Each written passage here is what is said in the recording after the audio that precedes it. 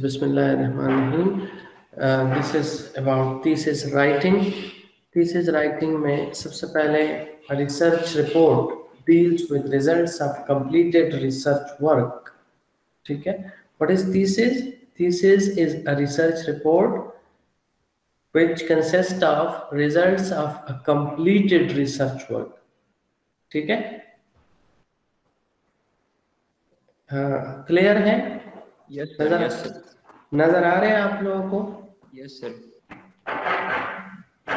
ठीक है Yes. after com- after completing a research work it is generally produced in the written form and is called research report or thesis or dissertation ठीक है A research report includes usually the following chapters अमूमन जो हाँ अच्छा general concept ये है कि thesis में चैप्टर कितने होंगे और कौन से होंगे? तो जो आपके प्रपोजल में जो हेडिंग है, अमूमन हर एक हेडिंग से थीसिस में एक चैप्टर बनेगा। समझ आ रही है? सबके लिए ज़रूरी नहीं है, लेकिन मैक्सिमम इसी तरह होता है। ठीक है? Yes sir. यानी आपके प्रपोजल में सबसे पहले क्या चीज़ है? इंट्रोडक्शन है। ठीक है? तो थीसिस में सबसे पहला जो चैप्टर होगा वो इंट्रोडक्शन से रिलेटेड होगा। ठीक है? इंट्रोडक्शन होगा। वो इंट्रोडक्शन असल में आपके टाइटल का इंट्रोडक्शन है आपके प्रॉब्लम स्टेटमेंट का इंट्रोडक्शन है आपके ऑब्जेक्टिव्स है ठीक है? स्कोप है उस प्रोजेक्ट का सिग्निफिकेंस है, ठीक है? अगर कोई इम्पोर्टेंस है, कुछ लिमिटेशन है तो उन चीज़ों के बारे में इंट्रोडक्शन होगा। या इस पूरे प्रोजेक्ट के बारे में इंट्रोडक्शन है, पूरा प्रोजेक्ट स्टार्ट से लेके एंड तक, ठीक है? फ़र्स्ट चैप्टर इंट्रोडक्शन का होगा। यानी इसमें इंट्रोडक्शन भी है, इसमें प्रॉब्लम स्टेटमेंट भी ऑब्जेक्टिव्स भी, और स्कोप ठीक है सिग्निफिकेंस और फिर फर्दर जो चैप्टर्स है उनमें क्या क्या चीज़ें आ रही है उनके बारे में भी एक ब्रीफ ओवरव्यू है।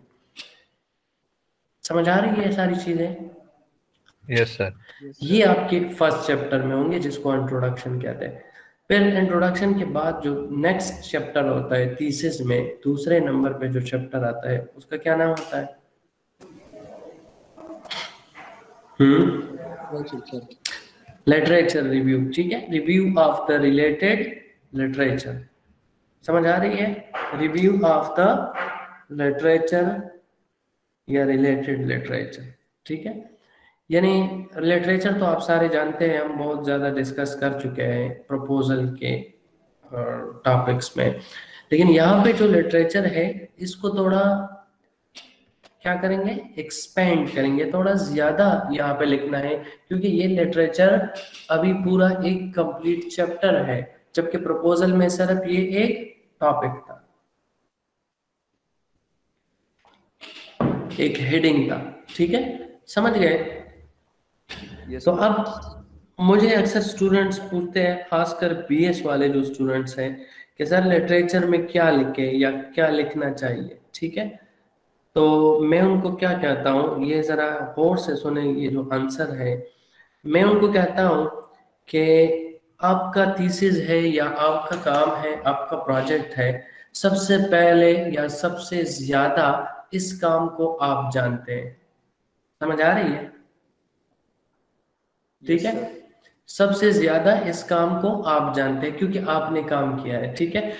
तो अब आपके ख्याल में वो कौन कौन सी टर्मिनोलॉजीज है कौन कौन से कंसेप्ट है कौन कौन से आइडियाज़ है जिसकी समझने की ज़रूरत है मेरे काम को समझने के लिए।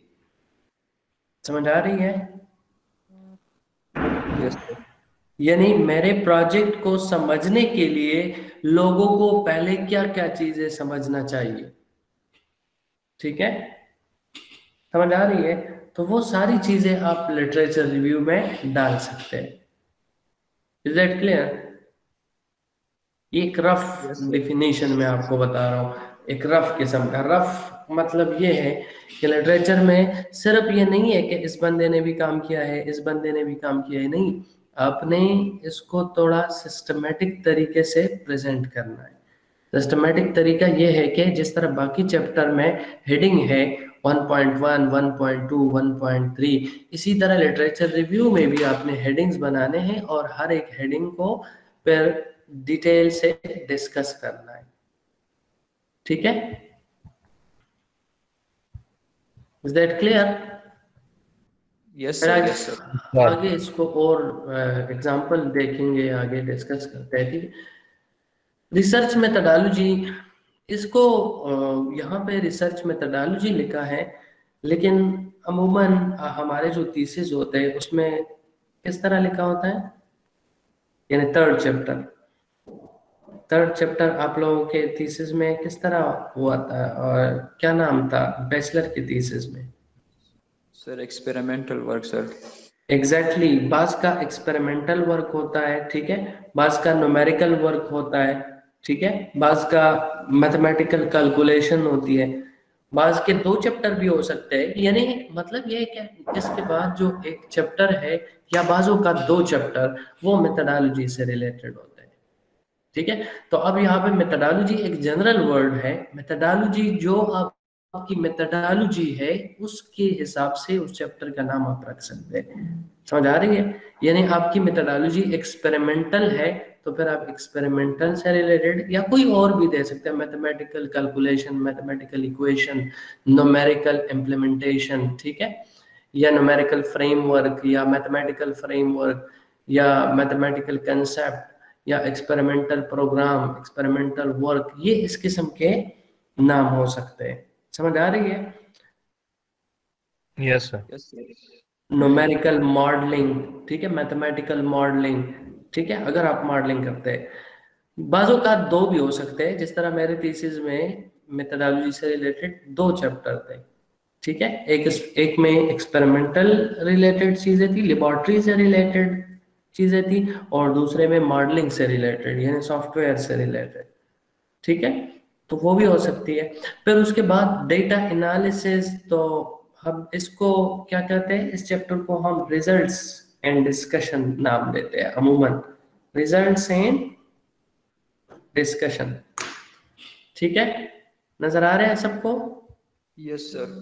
Results and discussion यानी उसमें हम जो हमारे रिजल्ट्स है उसको हम डिस्कस करते हैं और वो वन बाय वन सारे रिजल्ट्स प्रेजेंट करते हैं।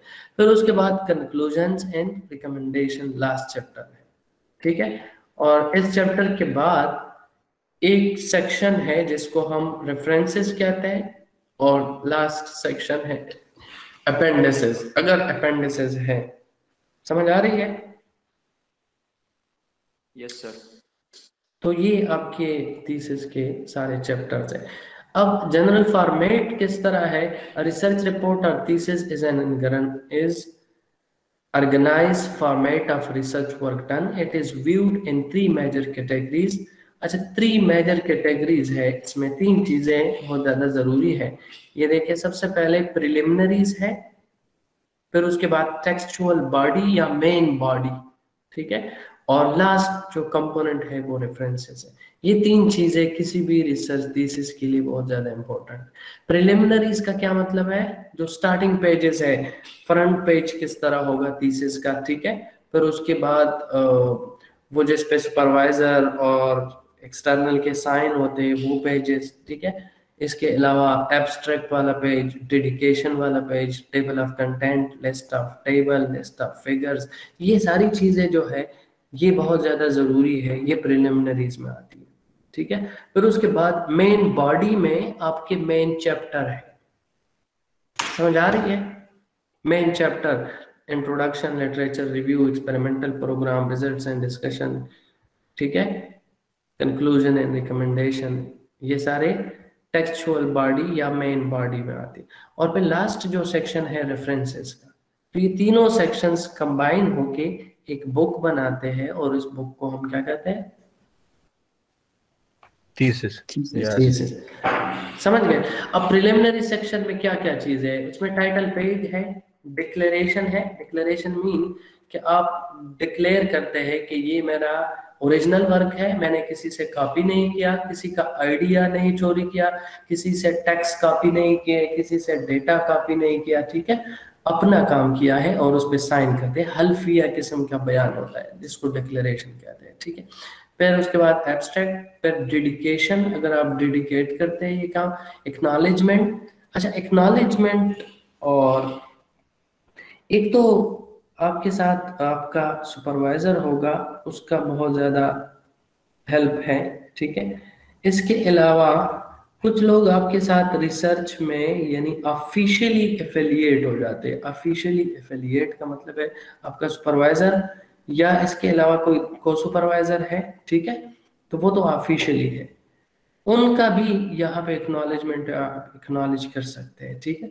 लेकिन एक्नॉलेजमेंट का सेक्शन खास तौर पे उन लोगों के लिए है जो आप ऑफिशियली उनको एक्नॉलेज नहीं करते। यानी कहने का मतलब ये है कि अगर आप लेट सपोज़ पेपर लिखेंगे इस थीसिस से तो आप उसमें अतर है आपका सुपरवाइजर भी अतर होगा आपका को सुपरवाइजर भी अतर होगा ठीक है?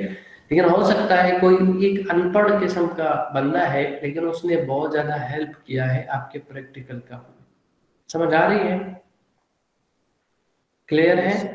Yes, तो तो उसका नाम तो आप पेपर में नहीं लिख सकते। तो उसको एक्नॉलेज करने के लिए इस सेक्शन में उसको आप यहाँ पे मेंशन कर सकते हैं, ठीक है? कि इस काम में इस बंदे का बड़ा हेल्प है, या इस लेब का हेल्प है, या सरहद यूनिवर्सिटी का, या किसी दूसरे इंस्टीट्यूट का मेरे साथ बहुत ज़्यादा सपोर्ट है, ये सारी चीज़ें आप यहाँ पे डाल सकते हैं, ठीक? अप्रूवल शीट जिस तरह मैंने कहा, जिस पर एक्सटर्नल इंटरनल या सुपरवाइजर वगैरह के साइन होते हैं अप्रूव करते हैं table of content list of tables and list of figures if any ठीक है? ये जो चीज़ें हैं इनको प्रिलिमिनरी सेक्शन कहते हैं। ठीक है? यस सर अच्छा ये जो प्रिलिमिनरी सेक्शन है इसके पेज नंबर क्या होंगे? सर वो रोमन टेक्स्ट में मेरे ख्याल में किस तरह होते हैं सर एग्जैक्टली exactly. इसके पेज नंबर्स आप रोमन रखेंगे, ठीक है? और इसके बाद जो आपका मेन जो बॉडी है, उसके पेज नंबर पर अरेबिक हो ठीक है? अच्छा टाइटल पेज पे क्या क्या चीज़ें होनी चाहिए? This is first page after thesis it includes title of thesis ठीक है? Name of the candidate purpose or relationship of the thesis to the course or degree requirement ये एक statement होता है कि is partial uh, this thesis is the requirement for par partial fulfillment of the degree of MSc civil engineering and etc ये पहले से लिखा हुआ होता है फॉर्मेट में है ठीक है कॉलेज और department in which the candidate has been admitted for the degree name of the university to which it is submitted और month and year of submission और एक्सेप्टेंस ये सारी चीज़ें इस पे होना ज़रूरी है। समझ आ रही है? यस सर आपको साइड पे पिक्चर नज़र आ रहा है? ये मेरे थीसिस का फ्रंट पेज या इसको आप क्या कहते हैं? टाइटल पेज कहते हैं। वो है ठीक है? इस पे सबसे पहले ऊपर टाइटल लिखा है। टाइटल के साथ ये नहीं लिखेंगे कि टाइटल और फिर लिखे। समझ आ रही? है फिर उसके बाद यूनिवर्सिटी यूनिवर्सिटी का मोनोग्राम ठीक है? फिर by whom by student name ठीक है? और ये है क्या चीज़? थीसिस है presented to university of engineering technology Peshawar in partial fulfilment for the degree requirement of master of sciences in civil engineering और फिर यहाँ पे 2016 इसके साथ मंथ भी लिखेंगे तो ज़्यादा अच्छा लगेगा। यानी जिस तरह जून 2016 या जुलाई 2016 ठीक है? पिशावर, खैबर, पख्तूनख्वा, पाकिस्तान। इसमें याद रखिए, ये मेरे मास्टर थीसिस है, उसमें बहुत ज़्यादा गलती, गलतियाँ हैं, यानी उस वक्त मुझे पता नहीं था, अभी उसमें पता चला कि ये ये गलतियाँ हैं, ठीक है? समझ आ रही है? तो आप कोशिश करें वो गलतियाँ अपने थीसिस में ना करें, ठीक है? Yes. तो मैंने जो चीज़ें यहाँ पे लिखी है, ये सारी चीज़ें आपके टाइटल पेज पे होनी चाहिए, ठीक? नेक्स्ट है अतर्स डिक्लेरेशन देखिए यहाँ पे, इस डिक्लेरेशन में ये गलती ये है कि यहाँ पे नीचे स्टूडेंट का नाम होना चाहिए, उसका रजिस्ट्रेशन नंबर एटसेट्रा और उसका सिग्नेचर ठीक है? I hereby declare that the work contained in this thesis has not been previously submitted to meet requirement for an award. at this or any other higher education institution. To the best of my knowledge and belief, the thesis contains no material previously published or written by another person except where due references is made. ठीक है ये declaration है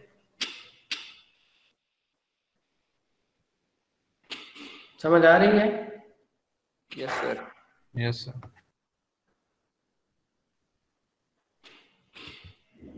फिर इसके साथ abstract है। नज़र आ रहे हैं आप लोगों को? Hello yes sir yes sir नज़र आ रहा है सर यस सर नज़र आ रहा है। ठीक।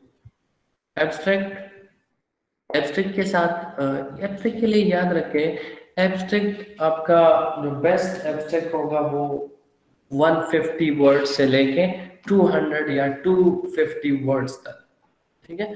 वर्ड में एम एस वर्ड में माइक्रोसॉफ्ट ऑफ़िस ऑफ़िस जो है, इसमें अगर आप ये सारे टेक्स्ट सेलेक्ट करें तो आपको पता चल जाएगा कि ये कितने वर्ड है, ठीक है? तो 150 से लेके 250 तक ये बेस्ट होता है, ठीक है? फिर कीवर्ड्स है कीवर्ड्स हम ऑलरेडी डिस्कस कर चुके हैं एब्स्ट्रैक्ट के साथ एटलीस्ट फाइव कीवर्ड्स भी पुट किया करे, ठीक है? डेडिकेशन है डेडिकेट करते हैं या नहीं करते हैं, फिर भी अगर ज़रूरत, ज़रूरी नहीं है इतना, ठीक है? लेकिन अमूमन होता है तो यहाँ पे आप कुछ लिख सकते हैं कि मैं ये डेडिकेट करता हूँ, फलाने को या, ठीक है?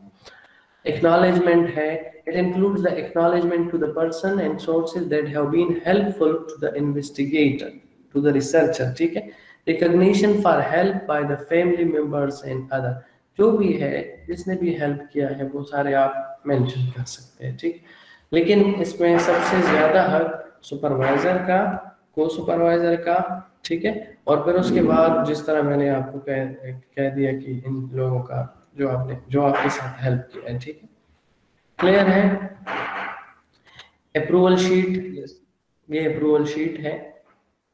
नेम ऑफ़ स्कॉलर और इसी तरह वैमोस कमेटी या डिफेंस कमेटी एक्सटर्नल इंटरनल ठीक है? Table of content this section list all the main chapter headings and the essential sub heading in each with the appropriate page number against each table of content आप already जानते हैं, ये table of content है, ठीक है? जिसमें तमाम topics तमाम चैप्टर के नाम हो, तमाम टॉपिक्स हर एक चैप्टर में, ठीक है? वो मस्ट है। ये आप जरा इसको गौर से देखें चैप्टर नंबर वन हमारा इंट्रोडक्शन है और देखें ये पेज नंबर वन से शुरू हो रहा है ठीक है? अरेबिक वन नज़र आ रहे हैं आप लोग? यस सर और Yes, इस इससे पहले जो चीज़ें हैं अदर डिक्लेरेशन एब्स्ट्रैक्ट और एक्नॉलेजमेंट और dedication table of content list of figure list of table इनके पेज नंबर देखिए ये रोमन में ठीक है? और फिर इस चैप्टर नंबर वन में जो हेडिंग्स है फ़र्स्ट हेडिंग हर एक चैप्टर का क्या होगा? वन पॉइंट वन ठीक है? यानी फ़र्स्ट चैप्टर है, उसका first heading one point one का मतलब ये। इसी तरह दूसरे चैप्टर का फ़र्स्ट हेडिंग क्या होगा? टू पॉइंट वन समझ आ रही है? टू पॉइंट वन तीसरे का क्या होगा? Three point one and so on is that clear yes sir List of figure, if any picture graph are used in the thesis, a list of figure on the separate page is present, uh, prepared in the same form as the list of table. ये ये याद रखिए figure research में technical uh, word है ठीक है इस technical word से हम बहुत सारी चीज़ें मतलब लेते हैं ठीक है फ्लो चार्ट अगर हम कोई बनाते हैं फ्लो चार्ट उसको भी हम फिगर कहते हैं समझ आ रही है फ्लो चार्ट को ठीक है? कोई पिक्चर लेते हैं कोई टेस्टिंग हो रहा है उससे पिक्चर लेते हैं या कोई फिनोमिना है उसका पिक्चर लेते हैं उसको भी हम फिगर कहते हैं ठीक है? कोई डेटा है उसको हम प्लाट करते हैं उससे ग्राफ बनाते हैं मुख्तलिफ़ किस्म की ग्राफ है उनको भी हम क्या कहते हैं? फिगर्स कहते हैं ठीक है? यस सर तो चाहे पिक्चर है चाहे स्नैपशॉट है चाहे गूगल अर्थ का पिक्चर है। उन तमाम को हम पिक्चर नहीं लिखेंगे। थीसिस में सिर्फ़ फिगर का वर्ड यूज़ होगा, ठीक है? थीसिस में दो डिफरेंट कैटेगरीज है। एक फिगर है और दूसरा टेबल है। तो टेबल तो आपको पता है जिसमें रोज और कॉलम हो और डेटा हो, उसको हम टेबल कहते हैं। इसके अलावा जितने भी चीज़ें हैं थीसिस में, उन तमाम को हम फिगर के नाम से पुकारेंगे, ठीक है? और फिगर भी चैप्टर के हवाले से यानी आपके फ़र्स्ट चैप्टर में अगर फ़र्स्ट फिगर है तो उसका नाम इस तरह होगा फिगर 1.1 फ़र्स्ट चैप्टर का पहला फिगर है। फिगर 1.2 फ़र्स्ट चैप्टर का दूसरा। फिगर 2.3 का मतलब है कि सेकंड चैप्टर का थर्ड फिगर है। ठीक सर क्लियर है? इसी तरह यानी उसी हिसाब से चैप्टर के नाम के हिसाब से। लिस्ट ऑफ़ टेबल इसके बाद, ठीक है? लिस्ट ऑफ़ टेबल में टाइटल और कैप्शन ऑफ़ द टेबल होंगे, ठीक है? जिस तरह यहाँ पे देखें टेबल 2.1 2.2 2.3 3.1 3.2 सेम प्रोसीजर है जिस तरह फिगर के लिए, ठीक? अच्छा अब ये आते हैं मेन बॉडी ऑफ़ रिपोर्ट की तरफ़। तो मेन बॉडी में इसको छोड़े मैं आपको सर वो थीसिस दिखाता हूँ, अपना जो मेरे मास्टर के थीसिस है, उसको देखेंगे, उसमें ये सारी चीज़ें डिस्कस कर लेते तो आपको ज़्यादा आइडिया हो जाएगा क्लियर होगा ज़्यादा, ठीक है?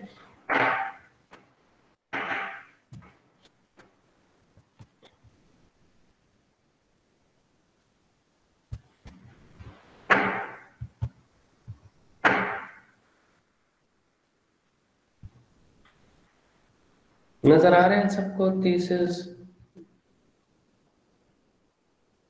yes sir Word format में है ठीक है? अब ये मेरे मास्टर के थीसिस है। इसमें सबसे पहले ये टाइटल पेज हो गया। टाइटल पेज देखें। फिर उसके बाद ये टी थ्री फॉर्म यहाँ पे लगाना होता है। उसमें जिस तरह अप्रूवल शीट है ये अप्रूवल शीट की जगह पे यूटी में टी थ्री फॉर्म उसको कहते हैं ठीक? फिर ये अतर डिक्लेरेशन एब्स्ट्रैक्ट एक्नॉलेजमेंट ये चीज़ें तो ऑलरेडी डिस्कस हो चुकी है।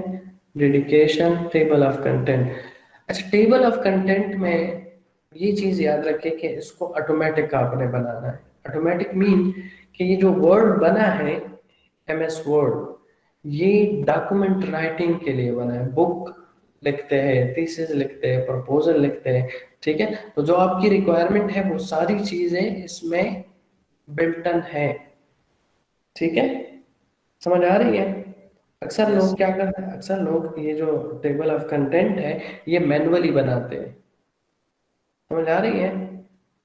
मैनुअली बनाने में फिर फिर मसला क्या होता है? मसला ये होता है कि थीसिस तो कभी भी कंप्लीट नहीं होता, उसमें आप चेंजेस करते हैं, जब तक आपने डिफेंस नहीं किया हो, जब तक ये एक्सेप्ट ना हुआ हो, उस वक्त तक आप उसमें चेंजेस करते रहते हैं। ठीक है? थीसिस में आप चेंजेस करते रहते हैं। एक टॉपिक एक जगह से दूसरी जगह चला जाता है, एक पेज से टेक्स्ट दूसरे पेज पे जाते हैं, ठीक है? टेबल एक पेज पे होता है, जब आप उसको चेंज चेंजेस करते हैं, कुछ लिखते हैं, कुछ रिमूव करते हैं तो टेबल भी उधर उधर ठीक है? तो सारे पेज नंबर जो है वो शिफ्ट होते रहते हैं। समझ आ रही है? यस सर तो अगर आप मैनुअली करेंगे तो फिर एक भी टॉपिक में आपने चेंजेस किए तो तमाम टॉपिक्स के पेज नंबर चेंज हो जाएँगे। फिर आपने सारे ये टेबल में जितने भी पेज नंबर्स है ये सारे फिर आपने मैनुअली चेंज करने होंगे। ठीक है? तो ये बहुत ज़्यादा मुश्किल काम है। तो इस वजह से वर्ड में ये प्रॉपर्टी है कि आप ऑटोमेटिकली इसको बना सके। समझ आ रही है? इसकी राइटिंग की ज़रूरत ही नहीं है। आप बस सिर्फ़ हेडिंग बनाए और हेडिंग के ज़रिए आप जाएँगे तो एंड पे आप यहाँ पे टेबल ऑफ़ कंटेंट क्लिक करें और insert table of content automatically जो आपके हेडिंग्स हैं वो सारे इसी तरीके से according to their original page number वो इस तरीके से बन जाएगा। ये अभी ऑटोमेटिक आपको नज़र आ रहे हैं। ये देखें इस पे कर्जर आ जाएगा तो ये खुद ब खुद हाईलाइट हो जाता है। और ये दे एक लिंक देता है कि control plus click to follow link यानी अगर आप कंट्रोल प्रेस करेंगे और किसी भी टॉपिक को आप जाना चाहते हैं chapter three chapter four directly उसमें जा सकते हैं। समझ आ रही है? यस सर अभी मैंने कंट्रोल क्लिक किया देखे तो ये जो निशान है, ये वो हैंड वाला निशान बन जाएगा ये। अब मैं एक टॉपिक पे जाना चाहता हूँ अटरबर्ग लिमिट्स वाला टॉपिक 3.3.4 ठीक है? इस पे क्लिक करें तो डायरेक्ट इसी हेडिंग या इसी टॉपिक पे पहुँच जाएगा, ठीक है? Atterberg limit. इस हेडिंग या इस टॉपिक में मैंने क्या लिखा है? The Atterberg limit are determine according to ASTM this limit liquid limit and plastic limit is determined by standard method. And plasticity index is calculated और वैल्यू ये ये ये है और इस टेबल में भी दिखाया गया है रिज़ल्ट और फिगर में भी दिखाया गया ठीक? क्लियर है? यस सर ये देखें ये फिगर है। Figure 3.4 liquid limit of soil samples ठीक है? ये भी फिगर है plastic limit of soil samples ये भी फिगर है प्लास्टिसिटी इंडेक्स और ये टेबल है. टेबल का जो कैप्शन होता है कैप्शन आपने ऊपर रखना है और लेफ़्ट अलाइन ठीक है? फिगर का कैप्शन नीचे और centred align is that clear yes sir अच्छा अभी तो इसका एक फ़ायदा ये है कि आप डायरेक्टली उस टॉपिक पे जा सकते हैं। दूसरा फ़ायदा ये है कि ऑटोमेटिकली बन जाएगा जब भी आप थीसिस में एडिटिंग करते हैं तो इसको आप अपडेट करें ऑटोमेटिकली पेज नंबर खुद ब खुद अपडेट हो जाएँगे। ठीक है? समझ आ रही है? यस सर अच्छा तो ये तो हो गया इसके बारे में। अब आते हैं वर्ड का जो चीज़ें हैं वर्ड से रिलेटेड हेडिंग किस तरह बनाना है और टेबल ऑफ़ कंटेंट किस तरह बनाना है लिस्ट ऑफ़ फिगर किस तरह बनाना है, ठीक है? लिस्ट ऑफ़ टेबल या ये किस तरह बनाने हैं, ठीक है? इस पे बाद में आते हैं, पहले बॉडी को थोड़ा डिस्कस करते हैं, ठीक है? तो बॉडी में सबसे पहले मेरा जो फ़र्स्ट चैप्टर है इसमें मैं जाता हूँ। फ़र्स्ट चैप्टर आप देखें इंट्रोडक्शन ठीक है? चैप्टर का नाम भी है इंट्रोडक्शन ठीक है? और फिर उसमें पहला टॉपिक भी इंट्रोडक्शन है। नज़र आ रहे हैं? यस सर आपके जितने भी चैप्टर है हर एक चैप्टर इंट्रोडक्शन से शुरू होना चाहिए। इज़ दैट क्लियर इंट्रोडक्शन से शुरू होना चाहिए। इस चैप्टर वन का नाम भी इंट्रोडक्शन है तो व्हाट डज इट मीन कि ये जो चैप्टर है ये पूरा चैप्टर इस पूरे प्रोजेक्ट को क्या कर रहा है? इंट्रोड्यूस कर समझ आ रही है? तो पूरे प्रोजेक्ट को इंट्रोड्यूस कर रहा है। तो पूरे प्रोजेक्ट में फिर पहला चीज़ अगेन इंट्रोडक्शन है। तो अब ये इंट्रोडक्शन जो है चैप्टर वन में जो इंट्रोडक्शन है, ये अब क्या चीज़ इंट्रोडक्शन किस चीज़ की इंट्रोडक्शन है? ये याद रखे ये इंट्रोडक्शन अब टॉपिक की इंट्रोडक्शन है टाइटल की इंट्रोडक्शन है। समझ आ रही है? टाइटल को आप जरा एक्सप्लेन कर दें is that clear yes sir और इसके एंड में बातें आप समराइज करते हैं। The main focus of the project is development of couple sir atmosphere interaction model that will incorporate the important climatic factor which are temperature precipitation relative humidity wind speed and net radiation in conjunction net radiation in conjunction with soil property. The analysis was conducted using this software. Coupled soil model will calculate seasonal suction variation due to climatic fluctuation. Finally, the developed model will be used to calculate the seasonal variation in the suction in real time factor आपसे summarise किया है पूरा project इसमें ठीक है फिर मेरा project specifically उसमें स्टडी एरिया की भी ज़रूरत थी तो इस वजह से मैंने डाला। ज़रूरी नहीं है कि आपके प्रोजेक्ट में भी दूसरा हेडिंग जो है वो स्टडी एरिया हो। दूसरा हेडिंग अमूमन प्रॉब्लम स्टेटमेंट का होता है। ठीक है? क्लियर है? यस सर यस सर तीसरा, यानी 1.3 केस ऑफ़ अनसेचुरेटेड अब मैंने चूँकि इसमें एक केस स्टडी भी किया है, एक स्लोप है, उसकी केस स्टडी भी की है, ठीक है? तो वो भी मैंने उसमें डाल दिया है, तीसरा। है चौथा हेडिंग मेरा है प्रॉब्लम स्टेटमेंट और वो बहुत ज़्यादा सिंपल प्रॉब्लम स्टेटमेंट है, इतना सा। ठीक है? डिटेल डिस्क्रिप्शन नहीं अच्छा ऑब्जेक्टिव्स देखें। ये ऑब्जेक्टिव्स है to the point three objectives लिखे हैं सिंपल बुलेटेड फॉर्म में ठीक है? रिसर्च सिग्निफिकेंस थोड़ा मैंने एक्सप्लेन किया है। ज़रूरी नहीं है हर एक प्रोजेक्ट में आप ये रिसर्च सिग्निफिकेंस डालें, ठीक है? क्लियर है? इंपॉर्टेंस सिग्निफिकेंस अगर आप लिख सकते हैं तो ज़्यादा अच्छा है। Scope of the project scope में जिस तरह मैंने बार बार आपको ऑलरेडी बता चुका हूँ कि ये लिमिटेशन को कहते हैं। ठीक है बाउंड्रीज आप क्लियर करें ठीक है तो यहाँ पे स्कोप जरा इसको रीड करें the applicability of the proposed method of coupled soil atmosphere interaction based slope stability analysis was verified by applying the method to a critical soil slope and Aptabar. समझ आ रही है? ये मैं लिमिटेशन बता रहा हूँ। लिमिटेशन ये है कि मैंने ये मेथड सिर्फ़ और सिर्फ़ एप्टाबाद में एक स्लोप पे अप्लाई किया है और उससे चेक किया है। बाकी मैं जिम्मेवार नहीं हूँ इसके समझ आ रही है? यस सर Second point, देखिए, the analysis was based on the previous one year, such that 2015 climatic data from one of the Pakistan Meteorological Department weather station located in Kakul, Aptabad. Again, ये जो analysis है ये based है weather data पे या climate data पे 2015 का climate data जो कि पीएमडी के काकूल स्टेशन से मैंने लिया था जो अहमदाबाद में। ठीक है? तो ये एनालिसिस टोटली उस डेटा पे बेस्ड है। यानी कहने का मतलब ये है कि अगेन मैं अपने लिए वो जो है रास्ता ढूंढ रहा हूँ कि कल अगर यही मॉडल कोई दूसरी जगह में यूज़ कर रहा है और उसके पास ये रिज़ल्ट नहीं आ रहा है तो वो उसको ये पता होना चाहिए कि इसके लिमिटेशन है। लिमिटेशन ये है कि मैंने जो चेक किया था वो 2015 का डेटा था और एबटाबाद का वेदर था, कपूर स्टेशन से मैंने डेटा लिया था, उस पर मैंने चेक किया। बाकी के लिए मैं जिम्मेदार नहीं हूँ। इज़ क्लियर स्कोप का मतलब ये है। इसी तरह one dimensional transient seepage for couple soil atmosphere model and two dimensional seepage and stability analysis were perform for the case slope stability analysis 1D मैंने सर स्कोप ऑफ़ स्टडी में sir last point पर discuss कर रहे तो scope में ये चीज़ें सारी क्लियर करता है ठीक है?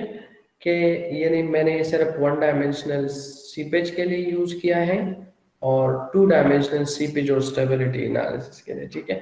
फिर at the end of chapter one ये हेडिंग बहुत ज़्यादा ज़रूरी है, जिस 1.8 इसमें आप एक ओवरव्यू देते हैं कि इसके बाद जो चैप्टर है वो किस तरह है। इसमें ये चीज़ अब ज़रूरी नहीं है। ठीक है? क्योंकि यहाँ पे पहला चैप्टर ऑलरेडी गुजर चुका है। पहला चैप्टर ऑलरेडी बंदा देख चुका है। तो इस वजह से यहाँ ये आप चैप्टर नंबर टू से शुरू करें। ऑर्गेनाइजेशन ऑफ़ थीसिस में चैप्टर नंबर टू से शुरू करें कि chapter number two illustrate a detail literature review including the concept of unsaturated soil mechanics unsaturated soil properties and their measurement and production this chapter also present the literature regarding different methods of slope stability analysis. Short सा लिखा है उस chapter number two के बारे में ठीक है? फिर उसी तरह चैप्टर नंबर थ्री में ये ये चीज़ें हैं चैप्टर फोर में ये है और चैप्टर फाइव में ये क्लियर है? यस सर इसके साथ आपका चैप्टर नंबर वन खत्म हो गया। नेक्स्ट पेज से फिर आप चैप्टर नंबर टू स्टार्ट से शुरू करेंगे ठीक है? चैप्टर नंबर टू अब जरा इसको भी देखते हैं क्योंकि इसमें अक्सर स्टूडेंट जो है वो गलतियाँ करते हैं तो इस वजह से इसको भी थोड़ा रिव्यू इसका भी अगेन हेडिंग लिटरेचर रिव्यू है, ठीक है? चैप्टर नंबर टू और इसका पहला हेडिंग होगा टू पॉइंट इंट्रोडक्शन अब ये जो इंट्रोडक्शन है, ये किस चीज़ का इंट्रोडक्शन है? लिटरेचर का सर एग्जैक्टली लिटरेचर रिव्यू का, इस चैप्टर का इंट्रोडक्शन है। इस चैप्टर में क्या क्या चीज़ है? समझ आ रही है?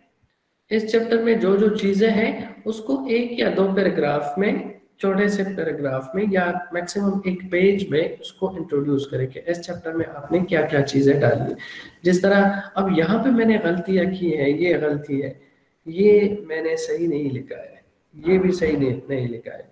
इन दोनों पैराग्राफ की ज़रूरत नहीं है इस, इसमें, जो मैं अभी समझा, ठीक है? समझ आ रही है? मैंने अगर सही लिखना है तो इसको किस तरह लिखना है? इंट्रोडक्शन 2.1 और मैंने ये जो टॉपिक है, ये यहाँ से बस शुरू करना यहाँ देखें, This chapter presents an overview of the current literature regarding unsaturated soil mechanics.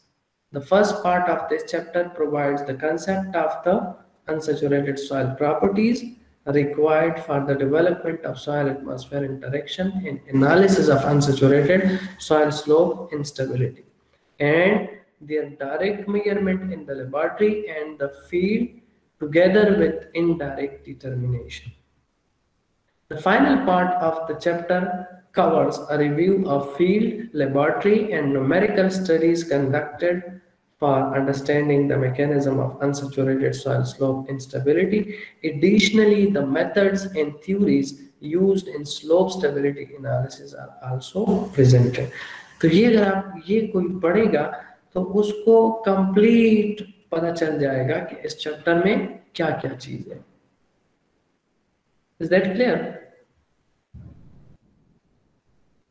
Yes sir yes sir तो मेरे ख्याल में ये इंट्रोडक्शन काफ़ी है इस चैप्टर के इंट्रोडक्शन के लिए, ठीक है? तो जो पहले दो पैराग्राफ है, इनकी ज़रूरत नहीं है, बस सिर्फ़ आपने इस तरह लिखना है। हर एक चैप्टर का इंट्रोडक्शन इस तरह होना चाहिए कि इस चैप्टर में क्या क्या चीज़ें आपने डिस्कस की है। Is that clear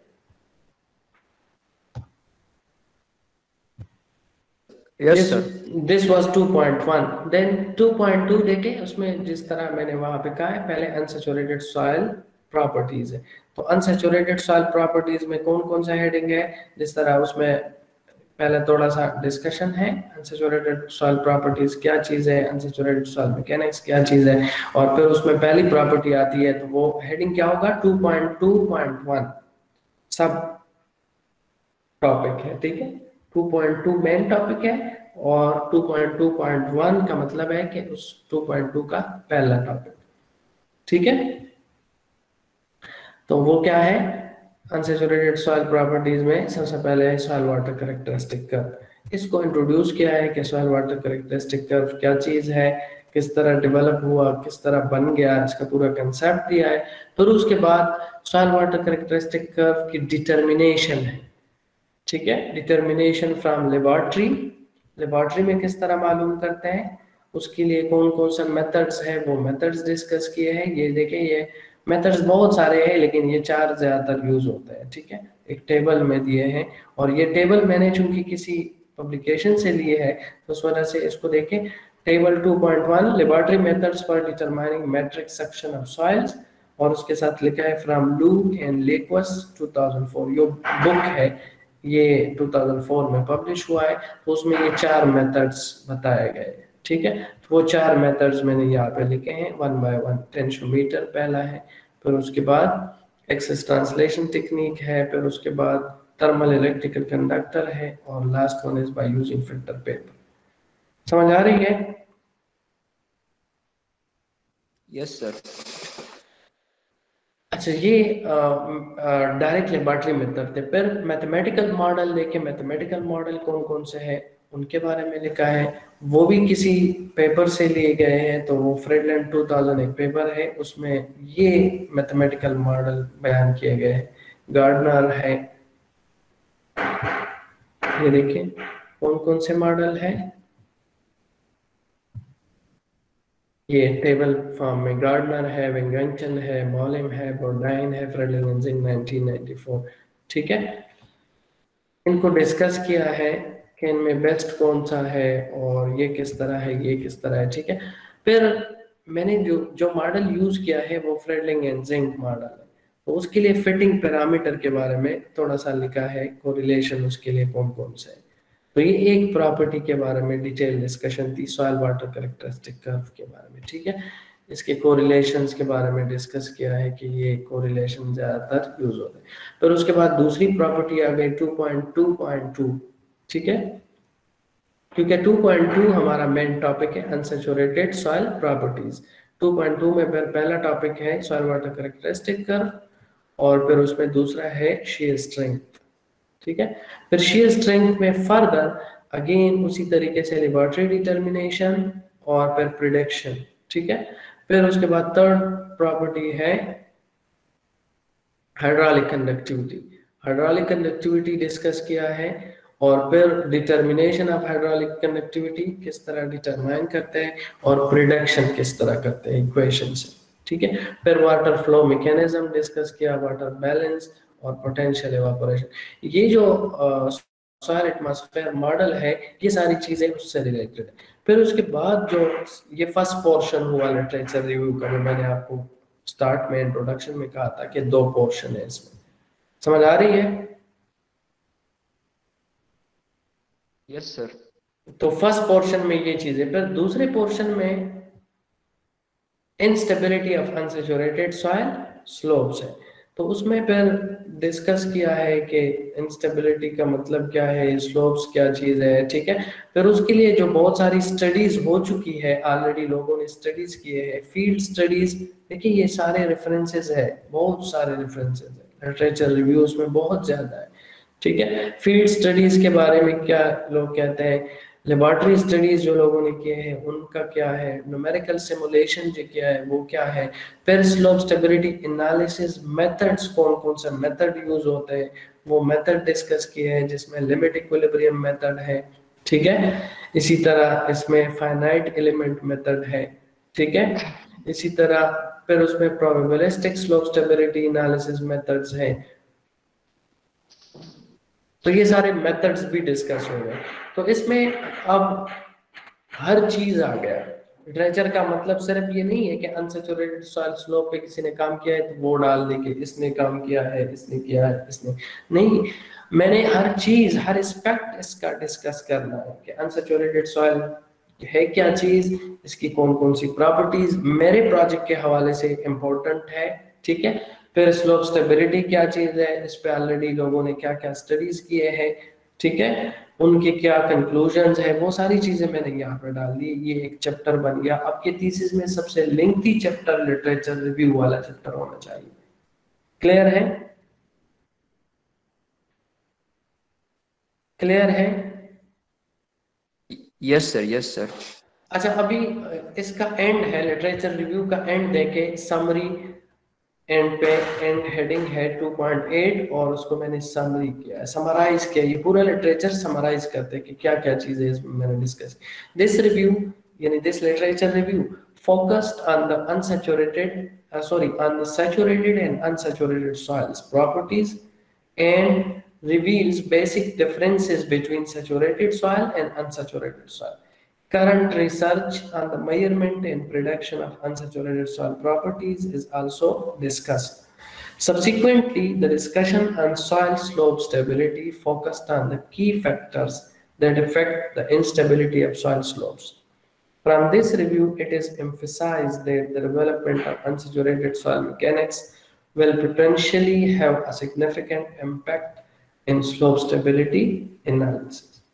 Is that clear यानी वो पूरी चीज़ें जो मैंने ऊपर डिस्कस किए हैं, वो सारे समराइज करके एक छोटे से पैराग्राफ में दोबारा जिस तरह मैंने ये चीज़ और इंट्रोडक्शन तकरीबन ऑलमोस्ट सेम है।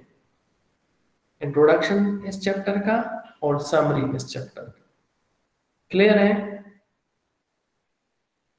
यस सर यस सर इसके बाद थर्ड चैप्टर थर्ड चैप्टर का टाइटल आप जरा देखिए थर्ड चैप्टर में क्या है? Soil laboratory investigation in climate parameter यानी दो चीज़ें हैं। मेरे प्रोजेक्ट में लेबोरेटरी इन्वेस्टिगेशन भी था लेबोरेटरी में कुछ टेस्टिंग थे और क्लाइमेट पैरामीटर्स भी थे, ठीक है?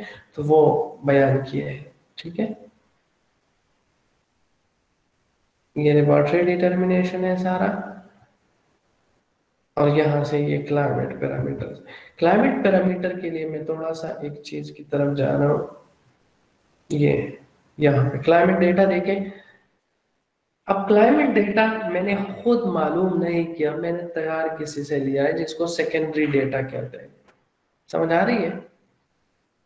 प्राइमरी डेटा वो होता है जो खुद आप करते हैं जो इससे पहले डेटा है वो प्राइमरी है जो लेबोरेटरी में मैंने खुद डिटरमाइन किया ठीक है? अब क्लाइमेट डेटा मेरा सेकेंडरी डेटा है ठीक है? तो इसके बारे में सेकेंडरी डेटा के बारे में फिर आपने पूरा इंफॉर्मेशन देना है कि ये किस डिपार्टमेंट से लिया है किस तरह लिया है और आपने उस पर क्या क्या काम किया। समझ आ रही है? यस सर तो ये देखिए इसमें मैंने क्या लिखा है? द सॉइल एटमॉस्फेयर अच्छा एक इससे पहले थोड़ा सा ये टेस्टिंग की तरफ़ आते हैं। टेस्टिंग जो आप लेबोरेटरी में टेस्ट करते हैं, उस टेस्ट के लिए याद रखें, आपने वो जो मैनुअल में तरीका लिखा होता है थीसिस में आप मैनुअल की तरह लिखने की ज़रूरत नहीं है। जिस तरह मैनुअल में स्टेप बाय स्टेप लिखा होता है कि पहले स्टेप में ये किया, फिर ये किया नहीं। डायरेक्ट आप उस मेथड का एच नंबर बता दें या आशतो नंबर जो भी स्टैंडर्ड नंबर ठीक है? और फिर कह दे कि उसके मुताबिक मैंने टेस्ट परफॉर्म किया। और ये रिज़ल्ट आ गए ये ग्राफ में भी शो है और टेबल में भी शो है बस उस पर अगर आप थोड़ा बहुत डिस्कशन कर सकते हैं तो वो बता दें। समझ आ रही है? यस सर अब सेकेंडरी डेटा में देखिए the climate of Ahmedabad is generally warm and temperate this climate uh, is considered to be CFA according to this classification. The climate data include इसमें ये ये चीज़ें हैं। अच्छा climate data from 1st January 2015 to 31st December 2015 यानी एक साल complete was collected from Kakul यानी Ahmedabad station of Pakistan Meteorological Department ठीक है the data collected from PMD was in .txt file format जरा गौर से देखें first the data was converted to the .xlx format and then plotted to a presentable form is shown below. ठीक है?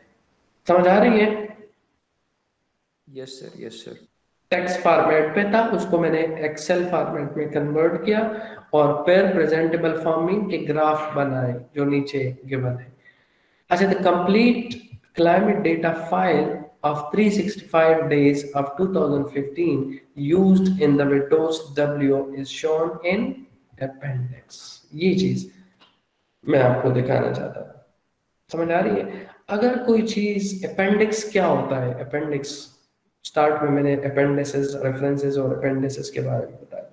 ठीक है? अगर कोई चीज़ ऐसा है जो आपके काम से तो रेलेवेंट है, लेकिन अगर आप इसको यहाँ पे डालेंगे तो आपकी जो चैप्टर की कंटिन्यूटी है, वो डिस्टर्ब हो जाएगी। समझ आ रही है? तो फिर इस चीज़ को आप एंड पे अपेंडिक्स में डाल सकते हैं। फॉर एग्ज़ाम्पल आप कोई फार्मूला यूज़ करते हैं, ठीक है? कोई कम्प्लेक्स फार्मूला है और आप आप समझते हैं कि इसका प्रूफ दिखाना भी ज़रूरी है, ठीक है? लेकिन वो प्रूफ लेंथी है, वो यहाँ पे डालेंगे तो इस चैप्टर की कंटिन्यूटी खराब हो जाएगी।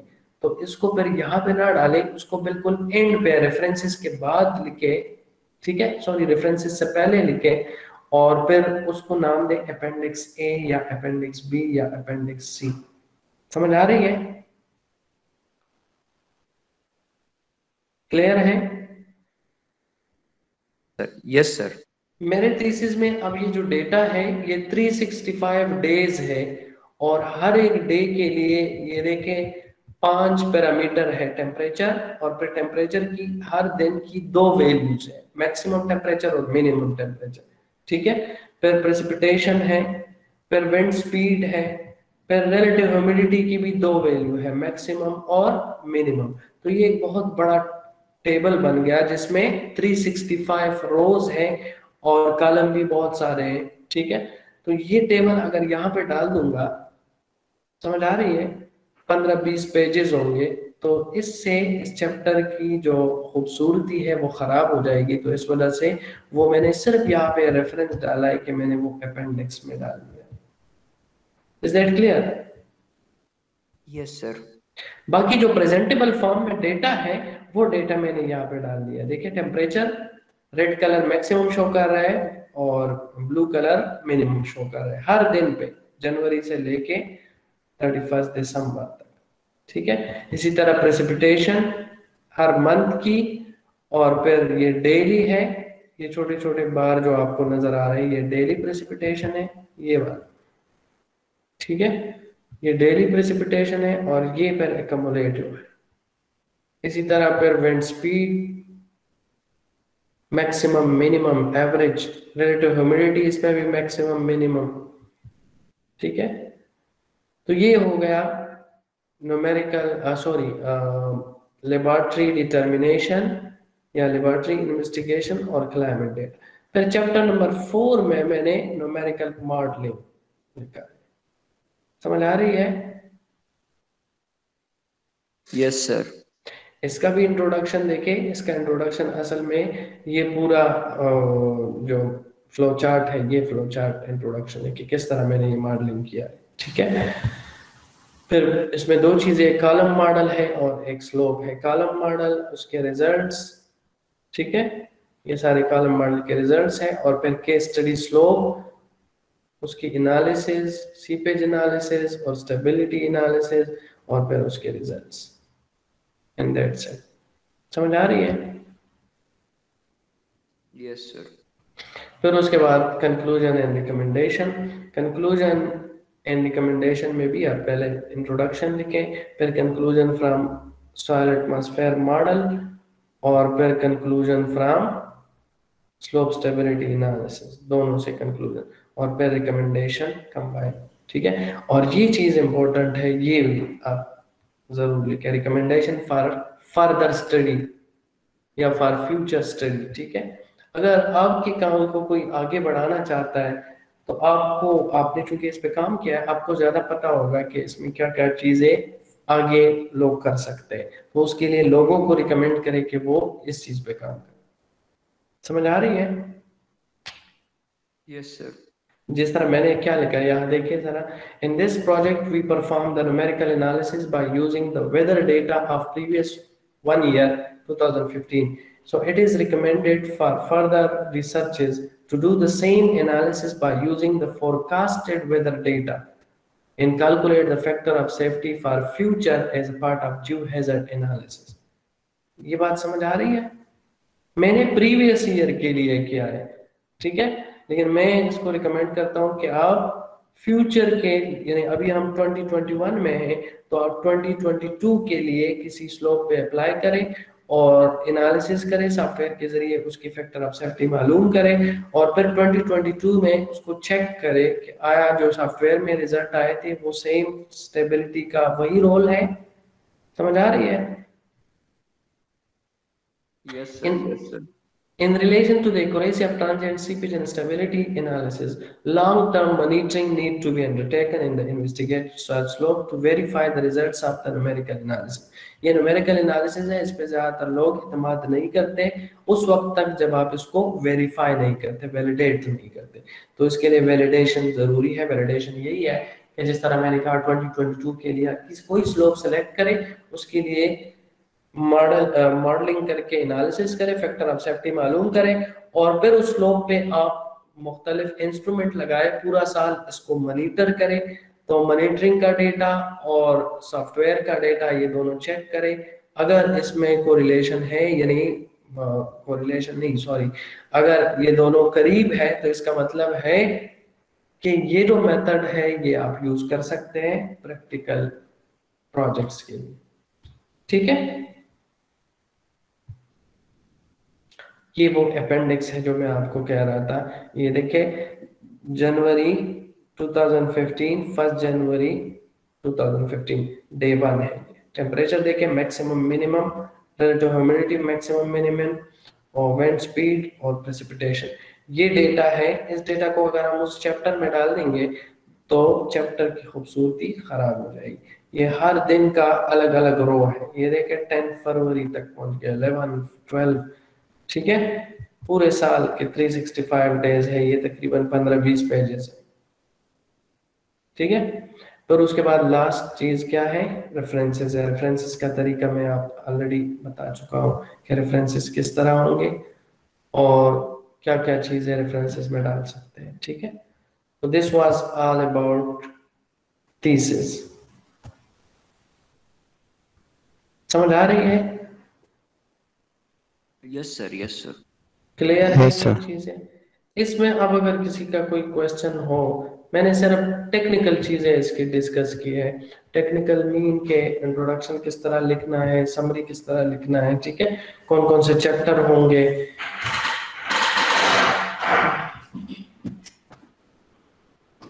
इसमें कोई किसी का कोई क्वेश्चन हो थीसिस से रिलेटेड है किसी का कोई क्वेश्चन है? या नहीं? नहीं सर फ़िलहाल तो क्वेश्चन नहीं है सर। क्लियर है सबको? या बिल्कुल समझ नहीं आ रहा? नहीं नहीं सर समझ गए सर। समझ गए? अच्छा वर्ड से रिलेटेड जो स्किल्स है वो अभी बता दूँ? सर अगर थोड़े से ये ये टेबल ऑफ़ कंटेंट्स का थोड़ा सा बता दे तो और लिस्ट ऑफ़ फिगर्स का। अच्छा ठीक है। इस तरह करते हैं एक नया फ़ाइल ओपन करते हैं न्यू वर्ड फ़ाइल ठीक है? न्यू वर्ड फ़ाइल मैंने ओपन किया ठीक है? अब लेट सपोज़ आप इसमें अपना थीसिस लिखते हैं ठीक है? तो सबसे पहले तो मेरा गाइडेंस ये है कि सबसे पहले आप क्या करें कुछ पेजेस छोड़ के यानी एक या दो पेजेस छोड़ के स्टार्ट के पेजेस ठीक है? यहाँ पे आप शुरू करें लेट सपोज़ सबसे पहला आपका चैप्टर चैप्टर से शुरू करें। चैप्टर के हेडिंग लिखे। चैप्टर वन हमेशा इस तरह करें। चैप्टर वन और इसका हेडिंग क्या होगा? इंट्रोडक्शन ठीक है? समझ आ रही है? यस सर फिर उसके बाद चैप्टर टू जितने भी आप समझते हैं स्टार्ट राइटिंग की इस तरह होती है कि आपको कौन कौन से चैप्टर होने चाहिए और उनके क्या क्या नाम होने चाहिए ठीक है? वो लिखें। समझ आ रही है? सबसे पहले वो लिखें। अब इस चैप्टर को आपने हेडिंग बनाना है? क्या बनाना है? हेडिंग तो चैप्टर का जो नाम है इसको आप फ़र्स्ट हेडिंग में रखा करें। ये यहाँ पे आपको नज़र आ रहे हैं ये चीज़ें। यस सर हेडिंग वन इनको हेडिंग्स कहते हैं ठीक है? तो चैप्टर का नाम आप सेलेक्ट करें और इसको हेडिंग वन या इस तरह इसको ओपन करें तो सारे आपको ओपन हो जाएँगे ठीक है? हेडिंग वन पे क्लिक करें तो ये जो टेक्स्ट है ये हेडिंग वन में कन्वर्ट हो जाएगा। समझ आ रही है? यस सर अब इसकी हेडिंग वन की प्रॉपर्टीज़ आपको फॉर्मेट में प्रॉपर्टीज़ बताई गई होती है कि आपने चैप्टर का नाम इतने साइज़ में रखना है बोल्ड रखना है टाइम न्यू रोमन रखना है ठीक है? समझ आ रही है? यस सर तो हेडिंग वन की जो वहाँ पे प्रॉपर्टी है उसके मुताबिक इसको मॉडिफाई करें। यहाँ पे बाय डिफ़ॉल्ट ये जो अभी आपको नज़र आ रहा है ये ठीक है? कैलेबरी लाइट 16 और ये।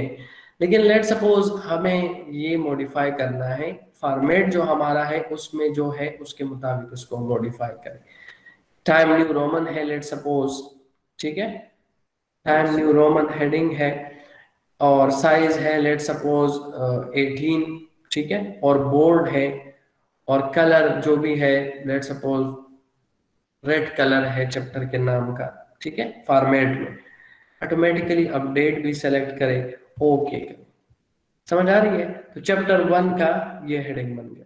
इसी तरह अब तमाम चैप्टर की यही हेडिंग इसी फॉर्मेट में होनी चाहिए। समझ आ रही है?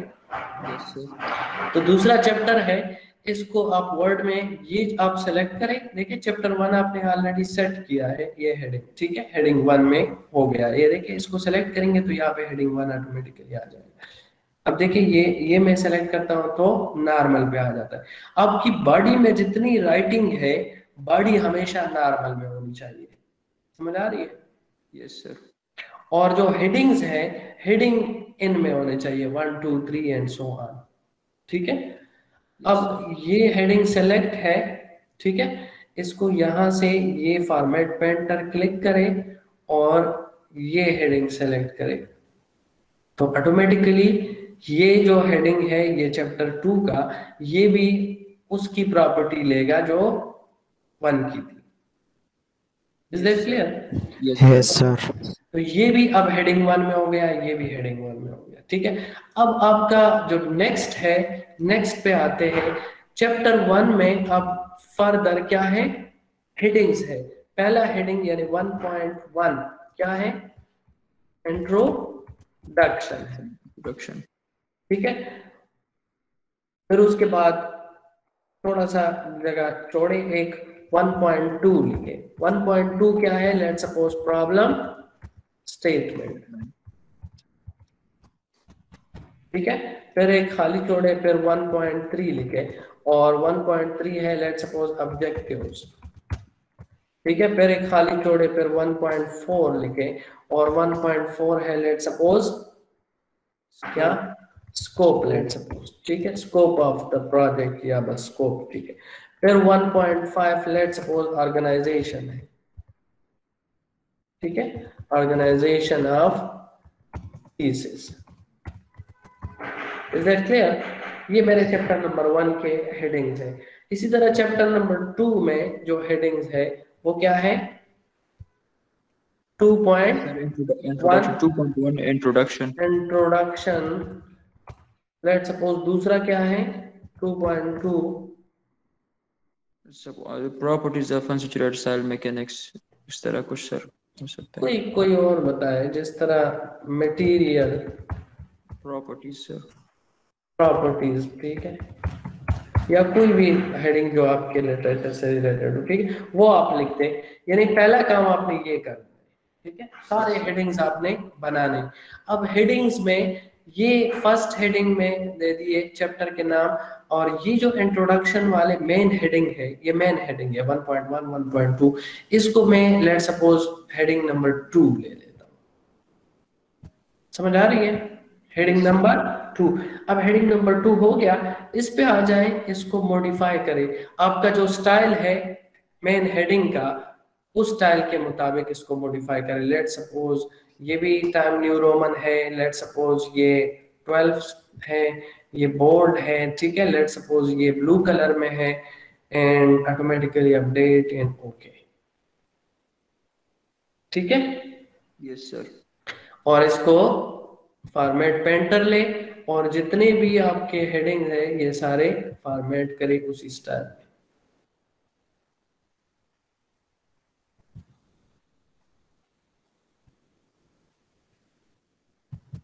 नज़र आ रहे हैं? Yes sir. फॉर्मेट पेंटर अगर आप डबल क्लिक करेंगे तो ये मल्टीपल इससे फिर आप इस तरह कर सकते हैं। मल्टीपल टाइम्स ठीक है? ठीक है? Yes sir. यस सर अच्छा अब अब देखें आगे देखें। ये बन गए। अब ये अगर आप इसको ये बटन आपको नज़र आ रहे हैं? यहाँ पे थोड़ा सा छोटा सा एरो टाइप yes sir. इस पे अगर आप क्लिक करेंगे तो चैप्टर वन पूरा क्या हो जाएगा? कंबाइन हो जाएगा। चैप्टर टू में जो चीज़ें हैं, वो भी कंबाइन इसके साथ चैप्टर थ्री चैप्टर फोर जितने भी चैप्टर आपने बना लिए, इस तरह बन जाएँगे। ठीक है? इसको ओपन करें तो इसमें हर एक हेडिंग ओपन हो जाएगा, जितने भी हेडिंग्स हैं। ठीक है? अब इस हेडिंग में अगर आप लिखना चाहते हैं लेट सपोज़ मैंने एक गलती की है, इसको खत्म करते हैं। बस। यहाँ पे एंटर करें और इस हेडिंग में आप टाइपिंग चाहते हैं जो भी आप लिखना चाहते हैं वो लिखते हैं। ठीक है? लेकिन लिखने के दौरान या जब आप लिखना कंप्लीट हो जाए तो इसको और से देखें कि ये जो टेक्स्ट है समझ आ रही है? ये आप लिखते हैं। ये जो टेक्स्ट है इसको जरा देखें चेक करें कि ये टेक्स्ट किस किस हेडिंग में है। ये बॉडी है ना? तो ये. बॉडी नॉर्मल में होना चाहिए। ठीक है? इसमें और नॉर्मल की भी आप प्रॉपर्टी मॉडिफाई कर सकते हैं कि नॉर्मल की प्रॉपर्टी आपसे क्या मांग रहा है? ट्वेल्व मांग रहा है कैलिबरी मांग रहा है let suppose time new Roman है ये भी ठीक है? और बोल्ड नहीं है तो ये ओके करें। इज़ दैट क्लियर yes ये नॉर्मल हो गया। इसी तरह कुछ राइटिंग आप दूसरे हेडिंग में भी कर सकते हैं तीसरे में भी सब में हेडिंग में कर सकते हैं। अगर लेट सपोज़ इसमें फिर सब हेडिंग आता है लेट सपोज़ ऑब्जेक्टिव में तो नहीं स्कोप में लेट सपोज़ सब हेडिंग आते हैं। समझ आ रही है? स्कोप में कुछ राइटिंग है और स्कोप में लेट सपोज़ टॉपिक्स है फर्दर टॉपिक्स है सब टॉपिक्स है। ठीक है? Yes sir. वो क्या होगा? 1.4.1 one समझ आ रही है? वो लेट सपोज़ हम uh, कहते हैं न्यूमेरिकल या स्कोप इन द फ़ील्ड ठीक है? एक ये है और दूसरा है let suppose 1.4.2 scope in the academics. Is that clear? Yes sir. ये फर्दर इसमें Yes, सब हेडिंग तो इन सब हेडिंग को भी आप फिर हेडिंग बनाएँ लेकिन अब टू नहीं हेडिंग थ्री क्या होगा? Heading 3 थ्री हेडिंग थ्री पे जाएँगे। तो हेडिंग थ्री और हेडिंग थ्री भी मॉडिफाई करें इसकी भी प्रॉपर्टीज़ चेक करें। ट्वेल्व है ये टाइम न्यू रोमन जो भी इसकी प्रॉपर्टीज़ है उसके मुताबिक इसको सेट करें ठीक है? ऑटोमेटिकली अपडेटेड और इसका कलर किस तरह होना चाहिए? लेट सपोज़ इसका ये कलर होना चाहिए ओके ठीक है? ये फिर इसको फॉर्मेट पेंटर पे क्लिक करें। यानी इसका फॉर्मेट कॉपी करें और जितने भी सब हेडिंग है उनको फिर आप सेलेक्ट करें तो उसकी प्रॉपर्टीज़ बाय डिफ़ॉल्ट ये भी चेंज हो जाएगा किस चीज़ में? समझ आ रही है? Yes. समझ गए ये? अब Yes, इसमें Yes, इसमें फर्दर जो टेक्स्ट है जो लिखना है वो उसमें भी करें आप ठीक है? क्लियर है? यस सर ये इसमें भी आप राइटिंग करें ठीक है? लेट सपोज़ अब थोड़ा एक और चीज़ राइटिंग बाकी चीज़ें तो सेम है सिर्फ़ आपने हेडिंग सीख लिया कि हेडिंग किस तरह बनानी है ठीक है? समझ आ रही है? यस सर एंड पे आपने ज़रूर ये चेक करना है कि बॉडी हमेशा नॉर्मल में होनी चाहिए। होनी चाहिए। और कोई भी हेडिंग नॉर्मल में नहीं होना चाहिए। ठीक है? यस सर इसके बाद आपने लेट सपोज़ हम अभी कोई फिगर इसमें इंसर्ट करते हैं। ठीक है? लेट सपोज़ एक फिगर लेते हैं, ये फिगर है लेट सपोज़ ये फिगर ये फिगर कॉपी ठीक है? इसको अभी इंसर्ट करते हैं इसी डॉक्यूमेंट में, यहाँ पे। पेस्ट नज़र आ रहा है सबको? यस सर नज़र आ रहा है सर ये इस ये इस हेडिंग में मेरा पहला फिगर है इस चैप्टर में चैप्टर नंबर वन में। तो इसका अब फिगर आ गया। इस पे राइट क्लिक करें। सबसे पहले तो जो भी फिगर हो थीसिस में आप डालते हैं तो उसको आप सेंटर्ड करें। यहाँ आपको नज़र आ रही है यस सर इससे सेंटर्ड करें पेज के सेंटर पे ठीक है?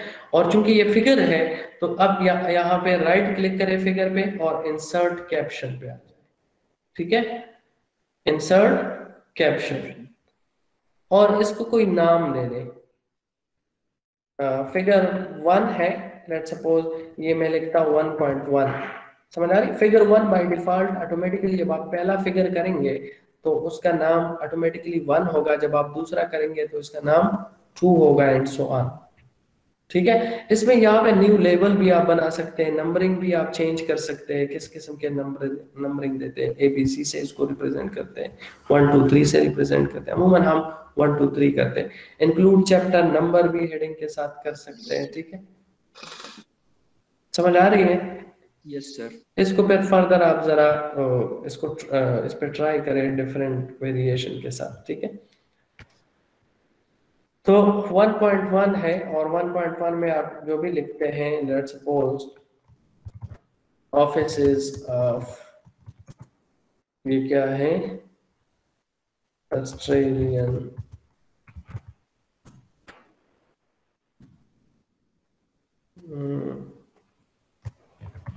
education consultant consultants. At different city इसको जरा सही तरीके से लिखना है। ये जो टाइटल है जो चीज़ फिगर शो कर रहा है वो आपने लिखना है ठीक है? फिर यहाँ लेबल में आप फिगर सेलेक्ट करें। इसमें तीन चीज़ें हैं आपको नज़र आ रहा है। एक इक्वेशन है दूसरा फिगर है तीसरा टेबल है।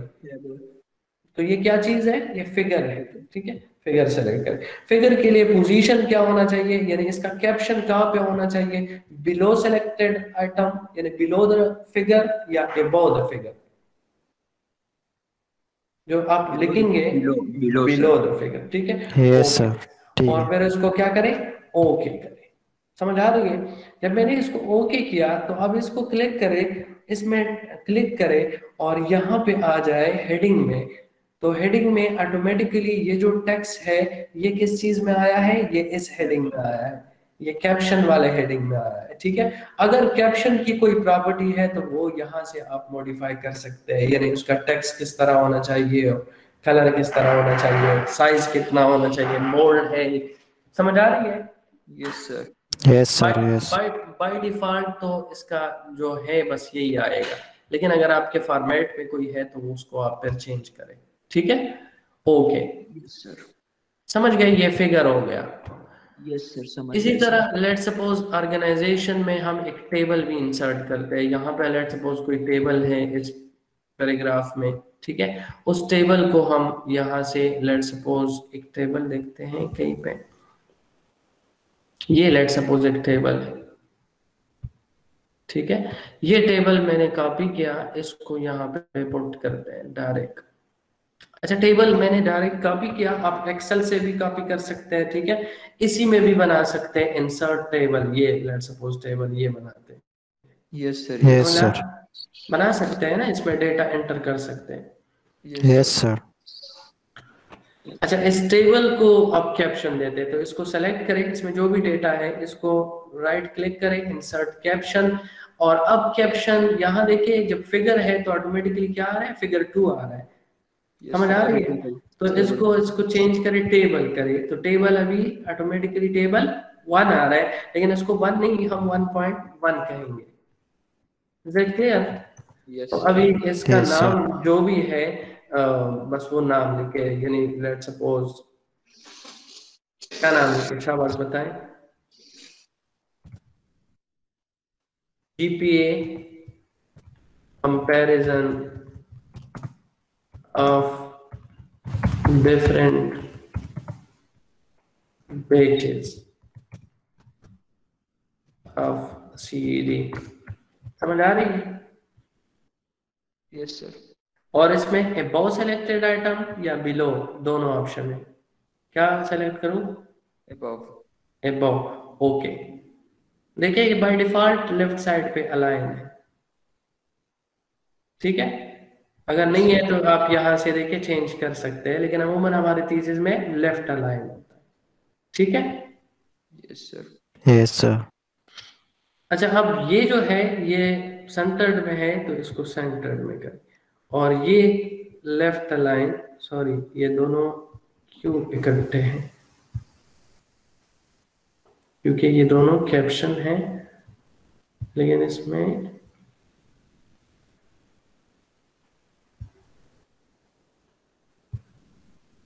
हम्म।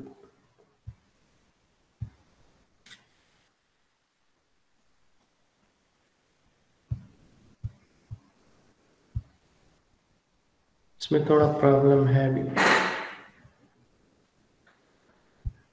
ये पता नहीं ऑफ़िस का वजह है कि क्या वजह है, लेकिन इस तरह मेरे साथ कभी नहीं हुआ कि अगर आप इस यहाँ देखें एक यहाँ पे प्रॉपर्टी होती है यहाँ से हम प्रॉपर्टी मॉडिफाई करते हैं सेलेक्ट करते हैं ठीक है? ये centred right side left side ठीक है? यस सर यहाँ से अगर हम करेंगे तो वो जितने भी कैप्शंस है वो सारे सब पे अप्लाई होगा ठीक है? समझ आ रही है? लेकिन अगर हम किसी खास में एक में जाएँगे और फिर यहाँ से चेंज करेंगे उसकी प्रॉपर्टी तो वो सिर्फ़ स्पेसिफिक उस पे अप्लाई होगा। समझ आ रही है? लेकिन पता नहीं यहाँ मेरे, उसमें अभी दोनों सेम हो रहे ठीक है? इसको छोड़े इसको छोड़े। ज़रूरी नहीं है, कोई इतना ज़रूरी नहीं है कि ये यहाँ से शुरू होगा। यानी टेबल का भी सेंटर से आप कर सकते हैं, लेकिन टेबल का अबो है और फिगर का बिलो ये ज़रूरी ठीक है? अब ये चीज़ें आ गई। अब हम क्या करते हैं? ये स्टार्टिंग पेजेस जो मैंने आपको बताए थे ये फॉर्मेट से रिलेटेड है तो फॉर्मेट की चीज़ें आप यहाँ पे डालने होंगे ठीक है? मेन बॉडी आपकी ये है। समझ आ रही है? Yes, इसको हम मेन बॉडी या टेक्सचुअल बॉडी कहते हैं वो ये है। बाकी जो चीज़ें हैं वो प्रिलिमिनरी मैटर के लिए मैंने आपको कहा था एक दो पेजे खाली छोड़। ठीक है? तो उसमें जो आपका फ़र्स्ट टाइटल है वो टाइटल वगैरह यहाँ पे डाल दें। बाकी डेडिकेशन और एब्स्ट्रैक्ट और वो चीज़ें यहाँ पे डाल दें ठीक है? क्लियर है? Yes Yes, sir. बाकी इसमें और क्या आएगा? टेबल ऑफ़ कंटेंट अब टेबल ऑफ़ कंटेंट यहाँ पे बनाते हैं ठीक है? तो आप जाएँगे कहाँ पे? रिव्यू में है मेरे ख्याल में। रिव्यू में। नहीं सॉरी रेफरेंसेस में।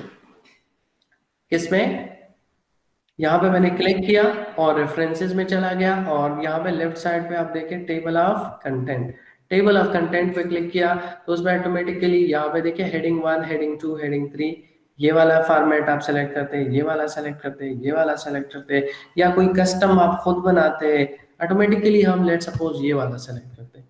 तो जितने भी हेडिंग्स है, उन सब का यहाँ पे देखे क्या बन गया? Table of content yes sir Yes, sir. नज़र आ रहा है चैप्टर वन इंट्रोडक्शन है पेज नंबर थ्री पे है और इसमें फिर पहला हेडिंग है ये दूसरा हेडिंग है ये तीसरा ये है चौथा ये है फिर चौथे में दो सब हेडिंग है one point one point four point one one point four point two ठीक है? फिर फिफ्थ ये है इसी तरह लिटरेचर रिव्यू में ये दो मैंने लिखे थे ठीक है? अब इसमें थोड़ा चेंजेस करते हैं। अभी फ़िलहाल ये देखें ये सारे हेडिंग्स पेज नंबर थ्री पे है फिर ये वाले सारे चार पेज नंबर फोर पे। ठीक है? इसको हम चेंज करते हैं लेट सपोज़ ये अ, तो ठीक है इंट्रोडक्शन वाला चैप्टर यहाँ से शुरू हुआ। ये पेज नंबर थ्री है ठीक है? पहला टॉपिक इसका लेट सपोज़ यहाँ पे है मैंने इसमें कुछ ऐड किया या कुछ चेंज किया राइटिंग हो गई ठीक है? इंट्रोडक्शन ज़्यादा हो गया तो ये प्रॉब्लम स्टेटमेंट नीचे चला गया दूसरे पेज पे ठीक है? इसी तरह प्रॉब्लम स्टेटमेंट में लिखा और अच्छा अभी आपको नज़र आ रहा है अपना जो डॉक्यूमेंट हमने डिस्कस किया? यस सर ठीक है। तो कहाँ थे हम? मैंने आपको ये बता रहा था कि पेजेस चेंज हो गए। जो पहले पेजेस थे वो अब नहीं है। यानी हमने उसमें राइटिंग बहुत सारा किया। तो एक टॉपिक एक पेज पे रह गया दूसरा आगे गया उसके साथ तीसरा भी चला गया चौथा भी चला गया एंड सो ऑन समझ आ रही है? सारे इधर उधर गए। यस सर ठीक है? तो बल्कि इससे पहले एक चीज़ और करते हैं। ये तो मैंने चेंज किया। अभी अभी तो टेबल ऑफ़ कंटेंट ये नहीं है। ये तो आपको पता चल गया कि इसमें पेजेस चेंज हो गए। ठीक है? लेकिन उसको फ़िलहाल छोड़े इसके साथ एक और चीज़ भी ऐड करते हैं। यहाँ पे दूसरा चीज़ है इसी रेफरेंसेस में है वो क्या चीज़ है? लिस्ट ऑफ़ फिगर और लिस्ट ऑफ़ टेबल ये आपको नज़र आ रहा है? Insert table of figures yes sir Yes, sir. इसमें दोनों है। फिगर का भी है टेबल का भी है। अगर इक्वेशन क्या आपने बनाया है इक्वेशन का भी लिस्ट बना सकते हैं। ठीक है? यस सर जो कैप्शन में जो तीन चीज़ें आती है फिगर टेबल और इक्वेशन उन तीनों का लिस्ट यहाँ से हम बना सकते हैं। तो इंसर्ट टेबल और फिगर यहाँ पे अब आपने सेलेक्ट करना है टेबल या इक्वेशन या फिगर नज़र आ रहे हैं? यस सर नज़र आ रहा है लेट लेट सपोज़ हम हम पहले फिगर के लिए बनाते हैं ठीक है? तो ये तरीका ये फॉर्मेट होगा स्टाइल में होगा एंड ओके बस. तो कितने फिगर हैं अभी? एक फिगर है तो इस वजह से. आपको नज़र आ रहे हैं? Figure 1.1 offices of Australian education consultants at different cities और इसको यहाँ पे इसका हेडिंग लिख के लिस्ट ऑफ़ फिगर्स इसको सेंटर्ड करें बोल्ड करें तो ये एक हेडिंग बन जाएगा, ठीक है? और इसको नेक्स्ट पेज पे लेट सपोज़ ठीक है? इसी तरह इसके बाद insert again references insert table का अभी टेबल सेलेक्ट करें। और ओके okay करें इसको। यहाँ पे टेबल आ गया। Table 1.1 GPA comparison of different batches of CED और इसको भी आप हेडिंग लिखे इसका। लिस्ट ऑफ़ टेबल्स समझ आ रही है? यस सर अच्छा इसको बोल्ड करे सेंटर्ड करे हेडिंग बन गया ये। ठीक है? अब इसमें देखिए सिक्स नंबर पेज पे है ये फिगर और टेबल सेवन नंबर पेज पे। ठीक है? अगर लेट्स ये तो अभी एक एक है आपकी थीसिस में बहुत सारे बन जाएँगे बहुत सारे आप डालेंगे तो उसमें लेट सपोज़ आगे पीछे जा सकते हैं। ठीक है? ये लेट सपोज़ ये वाला जो है ये यहाँ पे आ गया। ये पेज नंबर कौन सा है? एट पेज नंबर एट पे आ गया। और ये कौन से पेज पे है? Page number seven. सेवन पे है ये। ठीक है? हाँ ये पेज नंबर सेवन पे। ठीक है? अब आप आ जाएँ। इसको आपने चेंजेस बहुत सारे किए। फाइनल आप आ जाएँगे। यहाँ पे इसको अपडेट करेंगे। ये देखिए इसको आप इस पे कर्सर लाते हैं तो ये ऑटोमेटिकली इस तरह हो जाता है। इसको क्लिक करें तो इसके लेफ़्ट टॉप पे ये आता है। अपडेट टेबल नज़र आ रहा है आपको? यस सर Yes, इसको अपडेट अब अपडेट पेज नंबर्स ओनली या अपडेट एंटायर टेबल समझ आ रही है? अभी तो हमने सिर्फ़ जो चेंजेस किए हैं वो किस चीज़ में चेंजेस किए? सिर्फ़ पेज नंबर में चेंजेस किए हैं। समझ आ रही है? Yes, बाज बाज ये भी हो सकता है कि आप जो हेडिंग है जिस तरह यहाँ पे इंट्रोडक्शन लिखा है इसको भी आप चेंज करते हैं। समझ आ रही है? हेडिंग का आपको अंदाज़ा लगेगा बाद में आप हो सकता है आप कंसिडर करें कि इंट्रोडक्शन की जगह अगर मैं बैकग्राउंड लिखूँगा तो वो ज़्यादा अच्छा लगता है, ठीक है? तो ये भी आप चेंज कर सकते हैं। फ़िलहाल हमने सिर्फ़ पेजेस किए हैं, लेकिन फिर भी आप अपडेट इंटायर टेबल पे क्लिक करें तो ठीक होगा। समझ आ रही है? ओके करें। तो अभी देखिए ऑटोमेटिकली जो जो हेडिंग जिस जिस पेज पे गया है, वो ऑटोमेटिकली उसने उठाया है और यहाँ पेज नंबर अपडेट हो गए यस सर Yes, समझ आ रही है? और इसमें ये प्रॉपर्टी भी है कि अगर आप कंट्रोल प्रेस करेंगे और जिस टॉपिक पे आप जाना चाहते हैं लेट सपोज़ आप इस टॉपिक में लिखना चाहते हैं तो इस पे क्लिक करें डायरेक्टली उसी में जाएँगे आप। यहाँ पे आप लिखना शुरू करें। Is that clear Yes, sir. Yes sir अच्छा इसी तरह ये जो है ये भी अभी अब अपडेट हो गए ना। फ़िलहाल तो ये वही पुराने शो कर रहे हैं। लेकिन ये भी अपडेट हो गए। छः पे नहीं है ये अब सेवन पे है और ये एट पे समझ आ रही है? तो इसको क्लिक करें राइट क्लिक करें और update field update page number update entire table okay ये सेवन पे चला गया है और ये लिस्ट ऑफ़ टेबल भी अपडेट करें। ये एट पे चला गया है तो ऑटोमेटिकली ये अब देखिए अभी एट हो गया।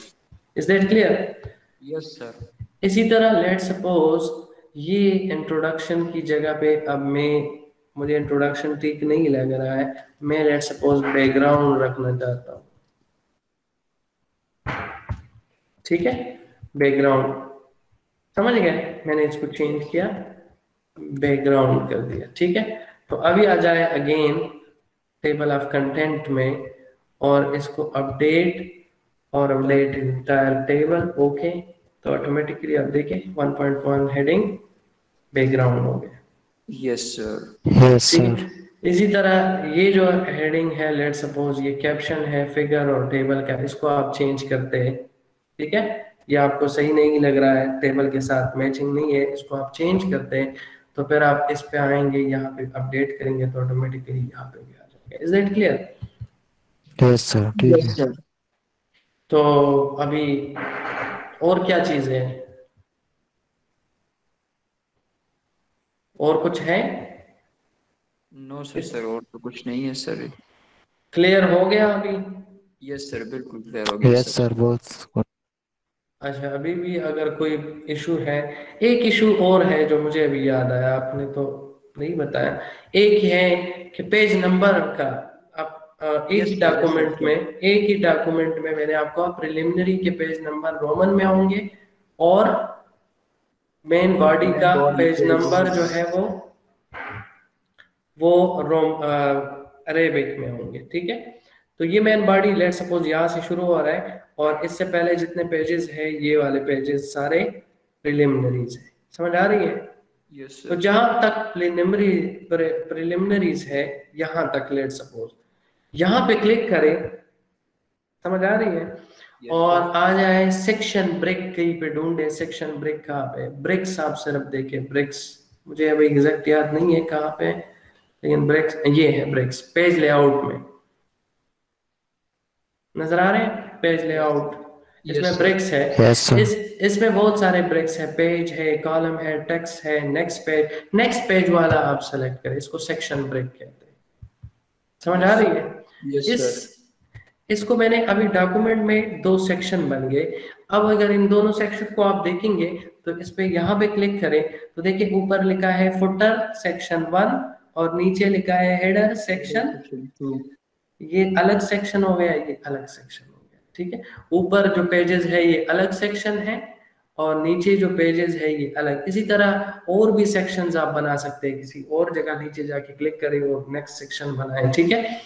सेक्शन सिर्फ़ इसलिए होता है कि इसकी हेडिंग की प्रॉपर्टीज़ या फुटर की हेडर या फुटर की प्रॉपर्टीज़ हम डिफरेंट बनाना चाहते हैं ठीक है?